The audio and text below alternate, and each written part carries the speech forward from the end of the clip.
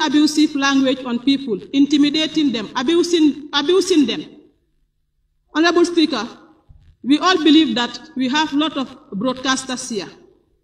All broadcasters are journalists, but not all journalists are broadcasters. So therefore, I think the information system of this country need to be regulated.